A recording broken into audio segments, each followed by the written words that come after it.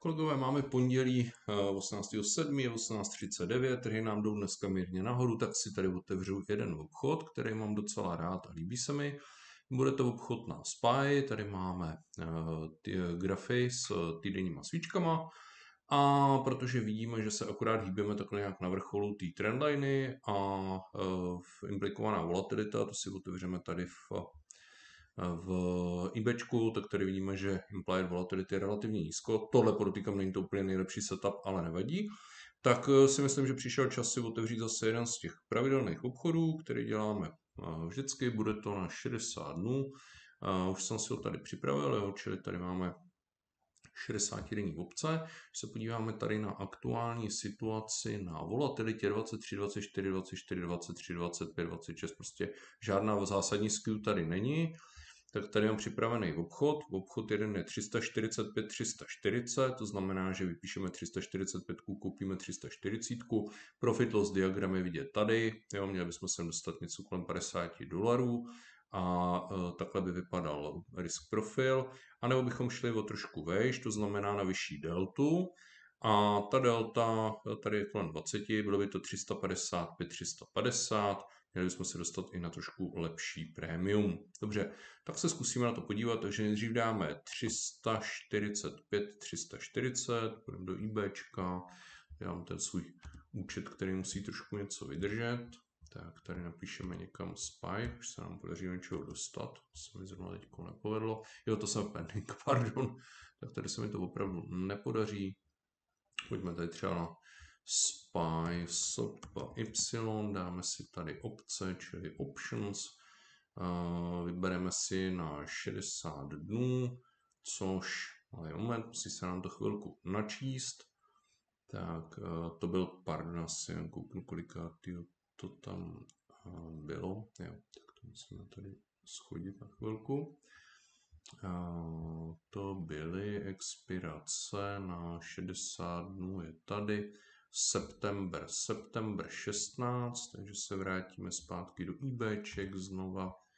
Uh, spy, tak, september, tady je July, to je málo, July, dáme more, July, August, August, september, to je tenhle ten september 16, regulár, a říkali jsme 345, 340, 5, 345, delta je tu 14, tak ji tam dáme a pojistkovou obci bude 340, tak ji tam taky dáme. To by byly jedny obce a teď se podíváme ještě na ty druhý. A to byly, a ty nám nepustí, nevadí, Myslím, že 355, 350, podíváme se na tu deltu, 350 a 5, to je 19 delta, to by odpovídalo, takže 355 a 350. Tak, zkusíme si z toho, jestli to trošku odtáhneme, jenom tažením myší. Zkusíme si z toho postavit ty put spready, uvidíme, kolik by nám to nabídlo. Přidáme si řádek a to tlačítkem ale to tlačítkem insert, tak napíšeme SPY, SPY, uh, combinations, uh, uční kombo, tak počkáme, až se nám načte možnost vytvořit to opční kombo. Doufám, že to nebude moc dlouho trvat. Ono si to IBčko občas docela rádo pospí. Možná je to zrovna tento případ, tak znova SOP. A vida konečně. Tak, uh, per leg by leg, čili dáme 345, přetáhneme a dáme ji jako sell, to znamená prodat. A k ní koupíme 340 přetažením buy, dáme add Tak, tím sám tam vytvořil jeden put spread, teď to tady smažeme, budeme pokračovat, vytvoříme si ten druhý úplně stejným způsobem. 355 přetáhneme, ale dáme ji jako sell, čili vypíšeme ji a k ní koupíme pojistkou 350. V obou případech je to riziko 5 bodů, čili 500 dolarů, proti němu inkasujeme premium, dáme teď add. Tak a teď si, tak můžeme to zavřít. A tenhle ten bull put spread druhý si přetáhneme sem. Tak a teď tady máme dvě varianty. Jedna varianta je 345, 340, za ní bychom dostali mezi 58 a 61 dolarama a je tady 355, 350 mezi 80 a 83. Liší se to v deltě, čili v pravděpodobnosti, že ta obce bude zasažena nebo dotčena in the money. A e, já si dám teď tu konzervativnější, to znamená, že vezmu tento, dáme tam, zkusíme tam dát 59. 59, ne, vydám, by nám to, ale jo, možná by nám to dalo za 59, zkusíme ještě za 60, zkusíme tu mid cenu, dáme buy, transmit, accept, zkontrolujeme to, znamená to, že bychom dostali 60, je tohle kreditní, po odečtení poplatku asi 57 a blokne nám to margin 500, což je v pořádku, jenom necelých 500. Tak transmit, počkáme, jestli se nám tam vyplní, Tady nám to zatím modrá, takže ještě nám to tam, ještě to tam není. Teď je tam 60, vidíte, že jsme tady na čekačce. 59, 60, nechtějí nám to dát, počkáme. A když to bude dlouho trvat, tak si slezu na 59 o ten jeden dolar. Dáme tam 59 mid, dáme update a mělo by to se projevit. Super, máme ho tam. Jo? Teď to máme tady. Uh, trade Trade history máme tady, ale no tak. Tak, tady ho máme a je to vytvořený put spread. Máme teda prodanou 345, koupenou 340. Tak, v čem, a dostali jsme za ní 57 dolarů. Teďko je to na 60 dnů, čili počkáme si, eh, vybral bych rád profit 50%, čili si tady dáme sell, čili opačný příkaz, a dáme si ho tady za 28, nebo za, ano, za 28.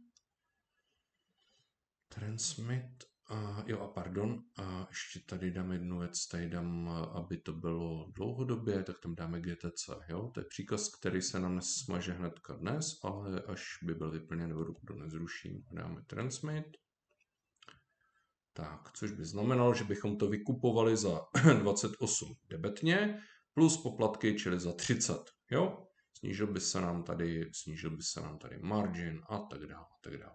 OK, čili dáme tam transmit, tím nám to tam pěkně zůstane jako na čekačce a počkáme si, jestli se nám to vyplní. Tyhle ty obchody jsou hrozně jednoduchý a teď si ukážeme ještě uh, ty máme v pendings, takže to můžeme schodit. A teď se podíváme ještě sem zpátky zpátky tady na ten, na ten uh, Tingle Swim, což je, uh, což je platforma, v který modelujeme ty obchody.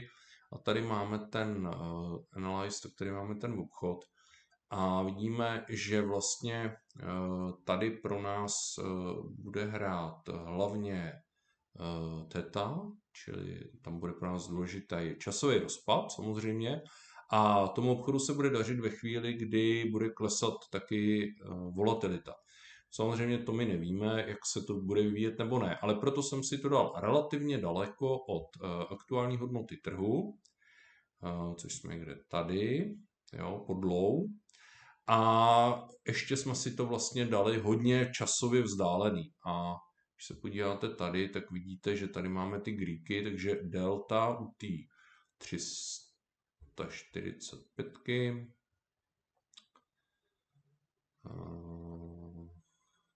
350, 345, kde pak tě máme. Tak to je ještě, eh, pardon, ještě se podívám tady do toho. Máme to teda 345, 340.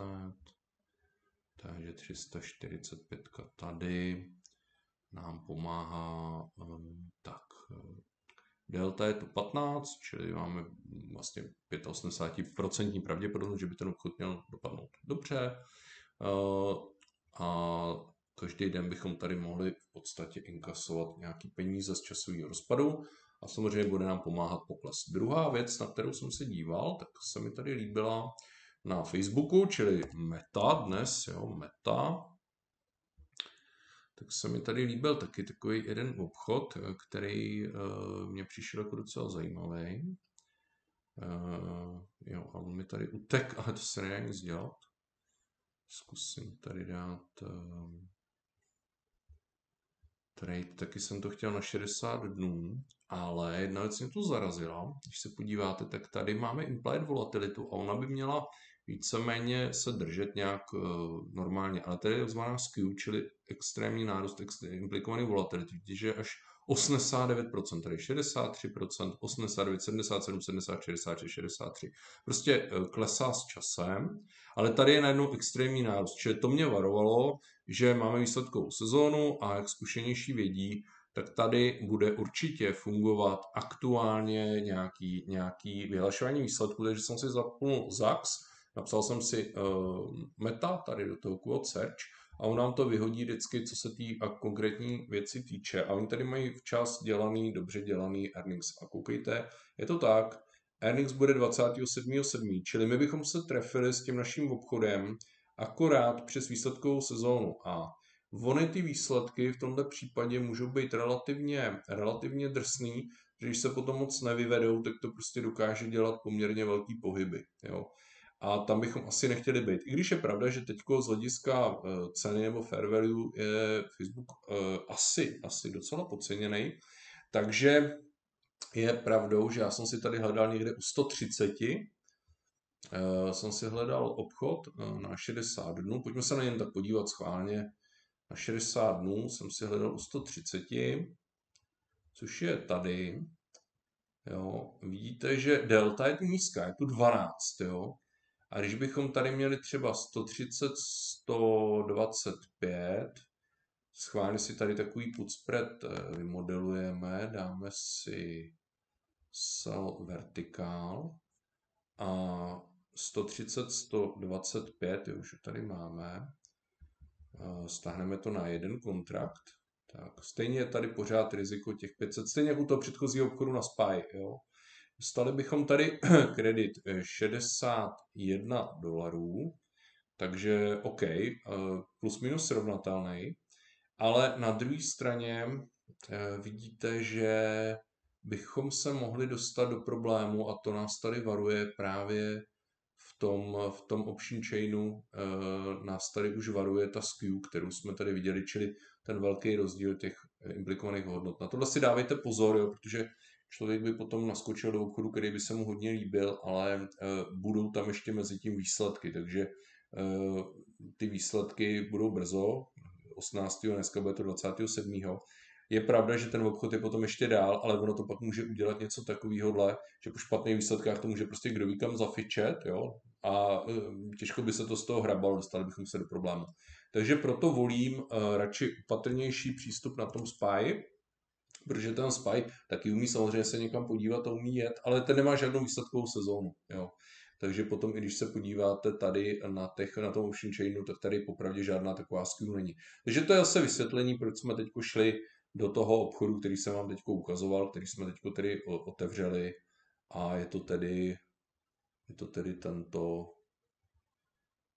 hmm, je to tedy tento obchod, takže máme tady otevřený teď za 59, což je srovnatelný premium, tak máme otevřený uh, put bull spread 345-340. Tak jo, takže uvidíme, jak nám ten obchod dopadne. Brali bychom 50% profit target. Já vám to schválně ukazuju na jednom kontraktu, ale vemte si, že prostě při třech kontraktech už by to bylo vlastně 3x6 je 18, 180 inkasovaného prémia a šli bychom si třeba pro 90 nebo pro 100 dolarů, čiže šli bychom kolem 2000 korun vlastně pro tenhle obchod a my je můžeme v tom 60 denním cyklu stavět pořád další a další, protože když se podíváte tady eh, do toho option, no tak to musím schodit dolů, když se podíváte do toho option chainu, tak vlastně tady máme každý týden, jo, takže když to se uplyne jeden týden, tak se na tu 60 dostane zase další, či to bude tohleto, jo, ten september 22, pak zase tenhle, tenhle, tenhle. Takže tady těch možností je prostě strašně moc